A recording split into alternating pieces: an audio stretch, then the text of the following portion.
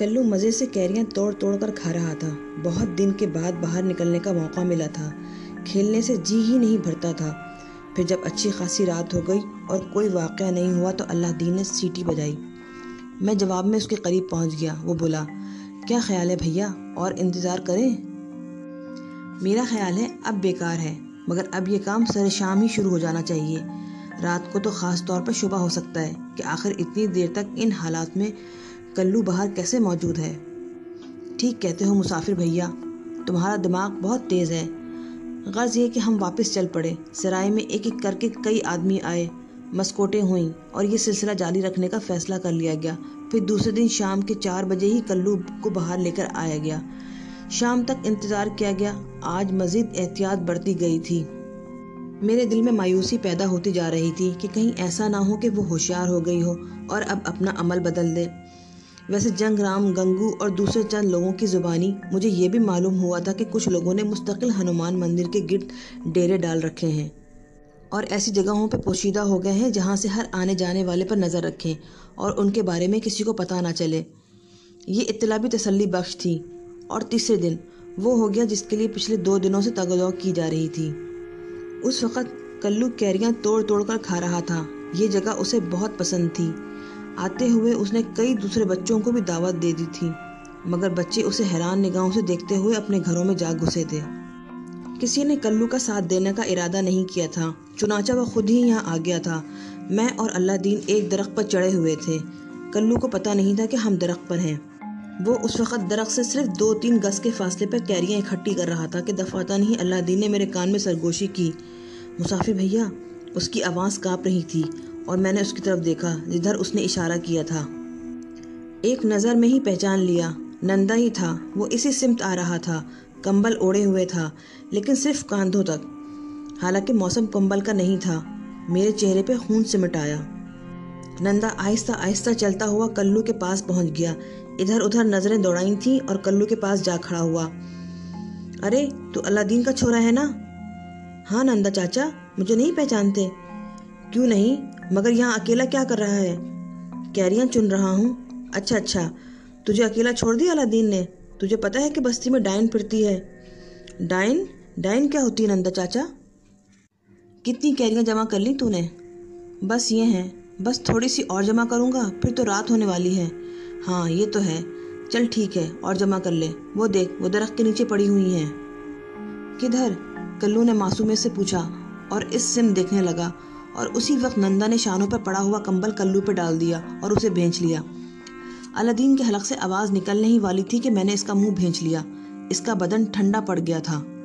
नंदा कल्लू को दबोचे हुए था और कल्लू कंबल में हाथ पाँव मार रहा था। अलादीन ने सरगोशी में कहा भैया, कहीं कहीं दम ही ना निकल जाए मेरे बच्चे का? नहीं, वो लोग बच्चों को ज़िंदा रखते हैं। इसकी आवाज़ बुरी तरह कप कपा रही थी। मैंने इसके बदन में थरथरी महसूस की और मेरा दिल दुखने लगा। बहरहाल, सारी बातों को भूलकर मैं भी मुस्तैद हो गया। नंदा कल्लू को कंधे पर डालकर तेज़ी से हनुमान मंदिर की जानब चल पड़ा। मैं और अलादीन नीचे उतरे ही थे कि लक्ष्मण और शंकर पहुँच गए। उन्होंने आहिस्ता से कहा, सारी खबर थी हमें, काम हो गया ना? मगर चिंता ना करना भैया, बीस आदमी हैं मंदिर के आसपास। एक एक जगह पर नज़र रखी जा रही है। और दो तीन तो मंदिर के अंदर मौजूद हैं और सतूनों के पीछे छुपे हुए हैं। जैसे ही नंदर इस तरफ़ चला, लक्ष्मण ने मुझे खबर करी और इसका पीछा करने लगा। तू परवाह मत करियो भैया, बाल भी का नहीं होगा हमारे कल्लू का। पहले हमारी जान जाएगी। अरे भैया, खुदा करे, डाइन से हमारा पीछा छूट जाए। चलें चलें। एक एक करके इधर उधर घूम कर। नंदा बड़ा चलाक है और सुनो, बात अभी यहाँ ख़त्म थोड़ी हुई है। चलो चलो, हम भी चल रहे हैं। जंग राम ने साथ चलते हुए कहा। हम लोग बड़ी एहतियात से नंदा को निगाहों में रखे हुए चल रहे थे। वो मोहतात कदम उठाता हुआ मंदिर की तरफ़ जा रहा था। जंगराम ने कहा, मुखिया जी की हवेली पर भी पहरा लगा हुआ है और सारे लोग निगरानी कर रहे हैं। जैसे ही गीता नंदी बाहर निकलेगी, उसकी भी खबर हमें मिल जाएगी हम इस तरह बातें करते हुए आगे बढ़ते रहे। झटपटे तेज़ी से रात में तब्दील हो गए। नंदा मंदिर में दाखिल हो गया था। हमारे दिल धक धक कर रहे थे। अलादीन बेचारा तो अभी तक थरथर काँप रहा था? उसका चेहरा पीला पड़ गया था। यूँ लग रहा था जैसे उसके बदन का सारा खून निचोड़ लिया गया हो। आवाज़ भी इतनी मध्यम हो गई थी उसकी कि मुझे हैरत थी। गर्ज, ये कि नंदा तो मंदिर में दाखिल हो गया था, मैं और अलादीन मंदिर के बिल्कुल करीब दीवारों के साथ आगे बढ़ गए। दफातन ही अलादीन ने एक सिमत इशारा करते हुए कहा, उधर उधर देखो उधर देखो। मैंने अलादीन का इशारा समझ लिया। मंदिर का इस सिमत का हिस्सा टूटा हुआ था। ईंटें एक दूसरे पर ढेर की शक्ल में पड़ी हुई थीं और एक बड़ा सा सुराख था। मैं खुशी से उछल पड़ा। ये तो मंदिर में जाने का दूसरा रास्ता भी हो सकता था। मैं इंतहाई मोहतात कदमों से आगे बढ़ा। अलादीन से भी सरगोशी करके मैंने उसे भी मोहतात रहने के लिए कहा और उसने गर्दन हिला दी। हम लोग एक एक इंच सिरक रहे थे कि कहीं कोई ईंट अपनी जगह से सिरक न जाए और नंदा होशियार ना हो जाए। लेकिन एक बात और भी थी कि अगर नंदा होशियार हो गया तो ज़्यादा से ज़्यादा क्या होगा? वो भागने की कोशिश करेगा, लेकिन जितने अफराद की इतला मिली थी कि वो मंदिर के गिर छुपे हुए हैं, वो उसे भागने कहाँ देंगे? कोई और तरीका ऐसा हो नहीं सकता था कि गीता नंदी को यहाँ के बारे में इतला मिल जाए। बहरतौर टूटे हुए हिस्से से हम मंदिर के एक पतले से हिस्से में दाखिल हो गए। और इस पतली सी राहदारी में जहाँ कूड़ा क्रिकेट के अंबार लगे हुए थे और चूहे इधर उधर दौड़ रहे थे, आगे बढ़ते हुए हम सामने के हिस्से में पहुँच गए। जहाँ से थोड़ा सा फासला तय करके इस इलाके में दाखिल हुआ जा सकता था, जहाँ हनुमान का बुद्ध ऐस्तादा था। मैंने अलादीन के कान से मुँह जोड़कर आहिस्ता से कहा, देखो भैया, ज़रा सी भी कमज़ोरी दिखाई तो सारी कुर्बानी बेकार हो जाएगी, संभल कर रहना। ठीक है ठीक है, अलादीन ने कहा, और हम सतूनों की आड़ लेते हुए एक ऐसी जगह पहुँच गए जहाँ से सामने नज़र डाली जा सकती थी। लेकिन हमारे अकबी सतूनों में कुछ लोग पोशीदा थे। थोड़े फासले पर कुछ सरसराहटें सुनाई देती थीं। इसका मतलब है कि वो लोग पूरी तरह होशियार हैं। नंदा मज़े से बैठा बीड़ी पी रहा था। और हनुमान के बुत के कदमों में कल्लू पड़ा हुआ नज़र आ रहा था। उसके हाथ पाँव बंधे हुए थे, आँखें खुली हुई थीं, और उसकी मध्यम मध्यम आवाज़ें सुनाई दे रही थीं। हमने इस आवाज़ पर कान लगा दिए, कह रहा था, नंदा चाचा नंदा चाचा, छोड़ दो मुझे। क्यों ले आए हो यहाँ? नंदा चाचा, ये मेरे हाथ पाँव, ये मेरे हाथ पाँव क्यों बाँध दिए हैं तुमने? नहीं नहीं, नंदा चाचा, छोड़ दो मुझे, छोड़ दो मुझे नंदा चाचा। अरे, चुप होता है या नहीं? नंदा ने सचमुच अपने लिबास से वो खंजर निकाल लिया, जिसका मैं पहले भी दीदार कर चुका था। अलादीन ने दोनों हाथ आँखों पर रख लिए थे। मैंने इसके शाने पे आहिस्ता आहिस्ता थपकिया दी और वो ऐसी निगाहों से मुझे देखने लगा, जिनमें बेबसी और बेकसी के अलावा कुछ नहीं था। ये आँखें कह रही थी कि वो अपने बच्चों को इस हाल में नहीं देख सकता था। कल्लू चीखता रहा, चीखते चीखते इसका गला बैठ गया और नंदा मज़े से बीड़ी पे पीड़ी सुलकाता रहा। सबर आजमा वक्त था। ऐसे लम्हात गुजारना ज़िंदगी का सबसे मुश्किल काम होता है। लेकिन ये भी हकीकत थी कि जिन लोगों ने इस बात का बीड़ा उठाया था कि वो डाइन को रोशनी में लाकर ही रहेंगे, वो भी बड़े सब्र से ही वक्त गुजार रहे थे। क्या मजाल के किसी को छींक भी आ जाए? फिर अचानक ही सरसराहटें बुलंद हुई। यूँ लगा जैसे गैर महसूस तरीके से एक ने दूसरे को और दूसरे ने तीसरे को खबर दी हो। लम्हा लम्हा सनसनी खेज था और मेरा यह अंदाज़ा दुरुस्त ही निकला।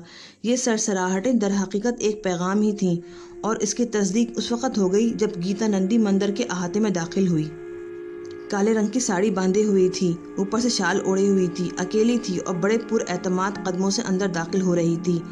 नंदा चौक कर सीधा हो गया जय देवी गीता नंदी ने कोई जवाब नहीं दिया। आहिस्ता आहिस्ता आगे बढ़ी और करीब पहुँच गई। उसने भारी लहजे में कहा, नंदा, अगर आज हमें कामयाबी ना होती तो यूँ समझ ले कि मेरी सारी तपस्या बेकार चली जाती। मैं जानता हूँ देवी, नंदा ने कहा, स्वामी अधरना चंदू सातवें दिन दर्शन देंगे और बस फिर मेरा काम बन जाएगा। हाँ देवी, सात दिन रह गए हैं। बस्ती वाले अलग होशियार हैं। खतरा बढ़ता जा रहा है। मैं जानता हूँ, नंदा ने कहा। चल हाथ पाँव खोल दे इसके, गीता नंदी ने कहा और नंदा ने खंजर निकाल लिया। उसने कल्लू के हाथ पाँव की रस्सियाँ काट दी। कल्लू ने भी इसी तरह तड़प कर उठने की कोशिश की, मगर नंदा ने उसे बालों से पकड़कर नीचे गिरा दिया।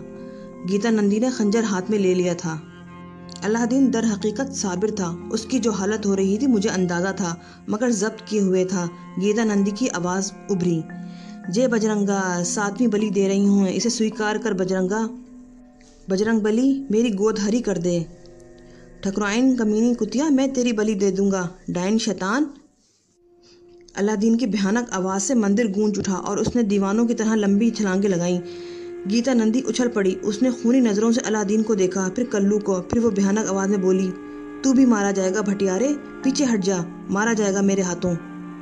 नंदा, इसे संभाल। लेकिन सब्र करने वालों से कहाँ सब्र होता? वो सब बेक वक्त निकल पड़े। नंदा को उन्होंने दबोच लिया। ठुकराइन ने अलादीन पर वार किया, मगर अलादीन की तकदीर अच्छी थी। उसके सीने पे बस हल्की सी खराश लगी। मुश्तई लोगों ने ठकुराइन के लंबे बाल पकड़कर उसे पीछे से घसीट लिया, वरना अलादीन ज़रूर मारा जाता।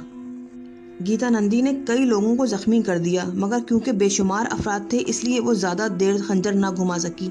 किसी ने उसके हाथ पर लाठी मारकर खंजर गिरा दिया।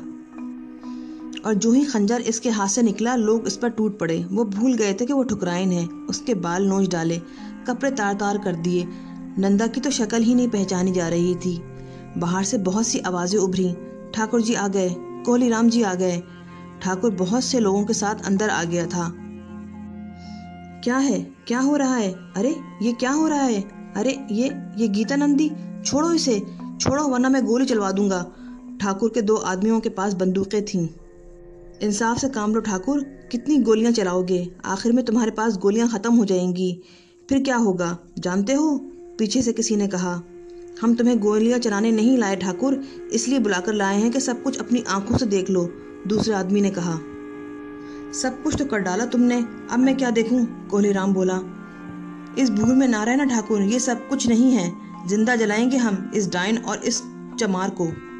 भगवान की सौगंध, इसे ज़िंदा ना जलाया तो माँ का दूध हराम है हम पर, रघबीर ने कहा। देखो, कितनों के घाव लगाए हैं इसने, अपनी फूटी आँखों से देख लो। अरे तुम धन वाले, समझते क्या हो अपने आप को? चलवाओ गोली, चलवाओ ठाकुर, रामपाल ने कहा। उसका बेटा भी मारा गया था। गीता नंदी, क्या है ये सब कुछ? ये सब क्या है गीता? झूठे हैं, पापी हैं सारे के सारे। सब कुछ उस मुसाफिर का किया धरा है। ये सब उसकी साजिश है। ठुकराइन ने मेरी तरफ़ इशारा करके कहा, नाम मत लेना इस देवता का ठुकराइन भगवान की सौगंध ज़ुबान काट लेंगे तुम्हारी, गंगू दहाड़ा।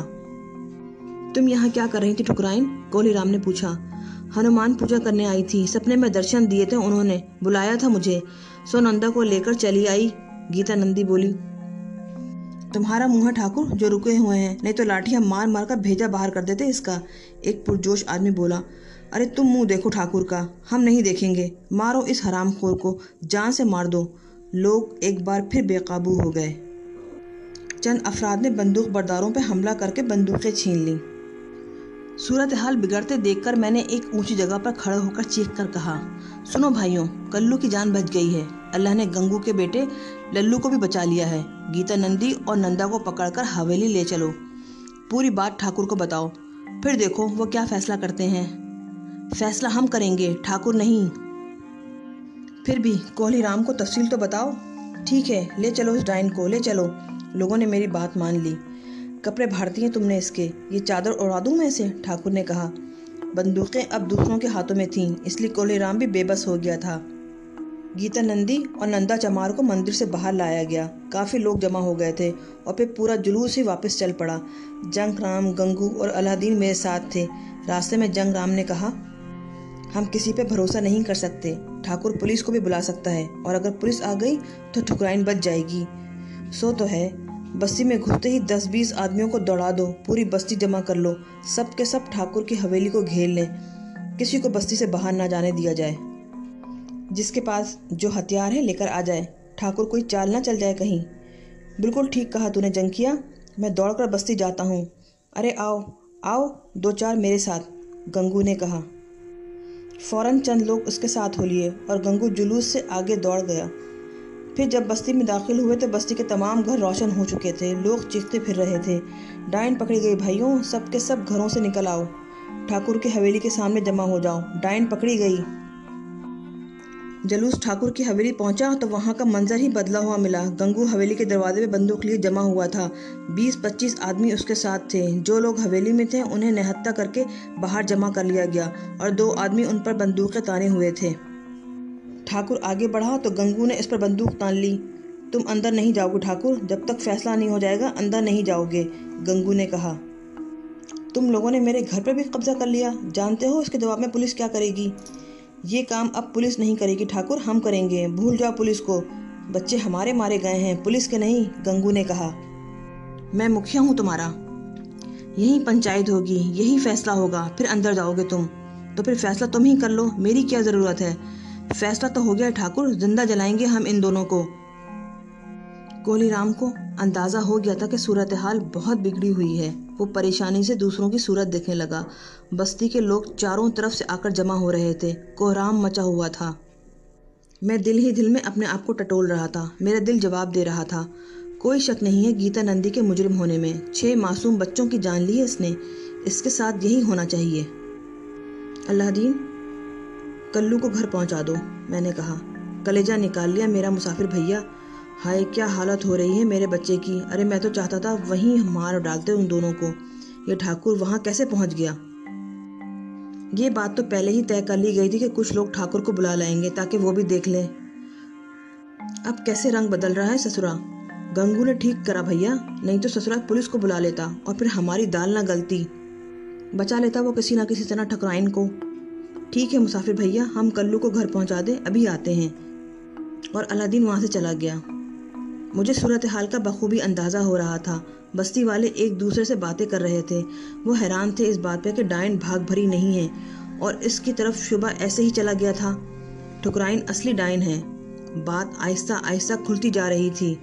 लोग एक दूसरे को तफसील बता रहे थे। वो लोग सबसे ज़्यादा मुश्तिल थे, जिनके बच्चे ठुकराइन के हाथों मारे गए थे। उनका बस नहीं चलता था, वरना सब कुछ वहीं कर डालते। लेकिन जो तैयारियाँ हो रही थीं, उनसे अंदाज़ा होता था कि किसी तरह ठकराइन और नंदा को छोड़ने पर आमादा नहीं होंगे। बहुत से लोग जंगल और खेतों की तरफ़ भी निकल गए थे। उनकी आमद के बाद उनके इरादों का भी पता चला। लकड़ियाँ काट कर लाए थे और हवेली के सामने ही एक साफ़ सुथरे हिस्से में अंबार लगाने लगे। ठकराइन को हवेली में नहीं जाने दिया गया, बल्कि वहीं एक जगह बिठा दिया गया था। नंदा भी थोड़े फासले पर मौजूद था। गीता नंदी जितना शोर मचा सकती थी, मचा चुकी थी। अब इसके चेहरे पे खौफ के आसार नज़र आ रहे थे। ठाकुर कोहली राम लोगों से सलाह मशवरा कर रहा था। तकरीबन सारी बस्ती ही उमड़ आई थी। बस औरतें और बच्चे ही घरों में रह गए थे। तुलसी भी मौजूद था। मगर इतने फासले पर कि मैं इसके चेहरे का जायज़ा नहीं ले सकता था। बहर तौर यह हंगामा आरइयाँ जारी रहीं। लोगों की ज़ुबानी इन फैसलों का पता चल रहा था, जो कोहली राम और दूसरे लोगों के दरमियान बातचीत करने से हुए थे। पता चला कि सुबह को पंचायत होगी और सारी बातें सुनने के बाद फैसले किए जाएँगे। बस्ती में जैसे कोई त्यौहार मनाया जा रहा था, पूरी बस्ती रोशन थी। लोग आ जा रहे थे। ठाकुर कोहलीराम भी एक तरफ़ बैठ गया था थक कर गर्ज ये कि यह हंगामे सारी रात जारी रहे। अल्लाह दिन मेरे पास वापस आ गया और अब वो खासी बेहतर हालत में नज़र आ रहा था। जंगराम और गंगू वगैरह भी मेरे पास ही मौजूद थे। इन दोनों को मुझसे बड़ी अकीदत हो गई थी। खास तौर से गंगू को, जिसका बच्चा कुर्बान होते होते बच गया था। अलादीन के लिए भी बड़ी अकीदत के अल्फाज अदा किए जा रहे थे कि उसने अपने बेटे की ज़िंदगी को ख़तरे में डाल दिया था। अगर वो ऐसा ना करता तो ठाकर कोहली राम ये बात ना मानता कि उसकी धर्मपत्नी डायन है और ना ही ठुकराइन रंगे हाथों पकड़ी जाती। जिन लोगों ने अंदर का मंजर देखा था, वो तो खैर किसी और बात पर यकीन करने को तैयार ही नहीं थे, लेकिन बाज़ लोगों के दिलों में शक व शुबा भी पाया जाता था। रात आहिस्ता आहिस्ता गुजरती रही। आखिरकार सुबह हो गई। ठाकुर का चेहरा उतरा हुआ था। चारों तरफ़ से बंद कर रह गया था। पता नहीं उसके अपने दिल में क्या था। ठुकराइन भी मुजमहिल नज़र आ रही थी। गालिबन अब उसे अपनी तकदीर का फैसला मालूम हो गया था। सुबह का लोग मुंतशिर हुए और कुछ देर के बाद पंचायत जम गई। जमालगढ़ी के बड़े बूढ़े एक जगह बैठ गए थे। ठाकुर को इस वक्त मुखिया का दर्जा नहीं दिया गया था, लेकिन फिर भी बहुत से लोग ऐसे थे जो इसकी इज़्ज़त करते थे। ठाकुर के मुलाजिम इस बात पर भी हैरान थे और शर्मिंदा भी थे कि ठकुराइन की नौकरी करते थे। अब उनके ख्याल भी बदले हुए नज़र आ रहे थे। बिलाखिर लोगों से खामोश होने के लिए कहा गया और फिर मेरी पुकार पड़ी। अलादीन ने कहा, मैं जानता था भैया, पंचायत तो मैं ज़रूर बुलाएगी। गंगू, जंगराम और बहुत से आदमी जिनके बच्चे मरे थे, मेरे साथ ही आगे बढ़े थे। पंचायत वालों ने मुझे बैठने के लिए कहा और मैं उनके सामने बैठ गया। ठुकराइन गजबनाक आँखों से मुझे देख रही थी। नंदा की हालत अब काफ़ी ख़राब हो गई थी। उसकी नज़रें बार बार लकड़ियों के उस ढेर की जानब उठ जाती थीं, जिसे अब चिता की शक्ल दे दी गई थी। एक रास्ता रखा गया था ठुकराइन और नंदा को अंदर पहुँचने के लिए। बाकी पूरी चिता ऐसे बना दी गई थी जैसे मुर्दों को जलाने के लिए शमशान घाट में बनाई जाती है।